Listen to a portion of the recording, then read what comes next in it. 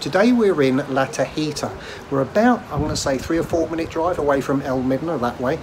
That there is Montaña Roja, which is the mountain that you see when you're coming in to land at the airport. And you can see what we can see behind me here. I'm standing on the apartment's balcony. And we're going to be looking at a one bedroom apartment in this complex called Vista Roja. Uh, the apartment is really nicely decorated, really nicely furnished, and it comes with a garage and a storeroom as well. So let's have a look around. Coming out onto the terrace now, you can see what we see straight away. Absolutely fabulous view across the sea. You've got uh, on the left-hand side Montaña Roja and uh, beautiful sandy beaches and blue, blue sea. Chairs here, a table and uh, another chair as well. So plenty of room outside on the terrace. So you can see what I'm saying about how nicely furnished it is. Really well furnished, modern sofa, nice dining area, the kitchen is really nice. It's fully fitted. So we've got a hob, proper oven, microwave up here, and a large fridge freezer um, here.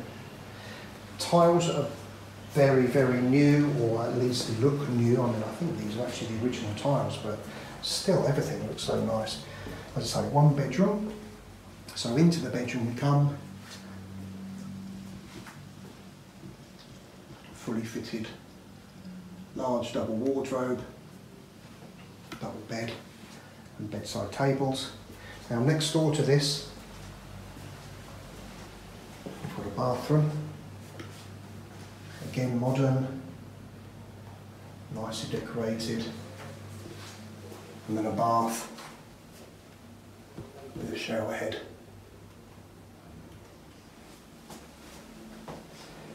Back out of the bathroom and turn left and it's got the benefit of having this utility room. Pop the light on. I've just got a washing machine and then the boiler in there and obviously somewhere to hide the brooms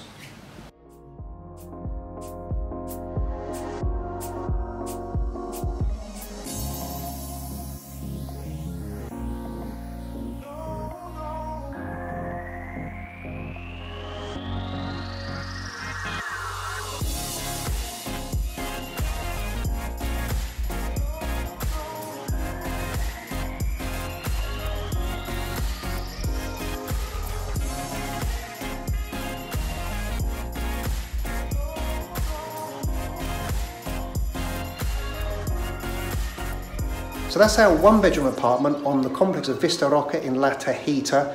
Fantastic uninterrupted views out to sea across there to the beach. Don't forget we've got the new shopping centre being built there as well. That's a recent addition. You've got everything you need in there. You've got a supermarket, you've got bars and restaurants and uh, you've got, I think the Pirate Bar still going on over there on the beach. That's worth a visit.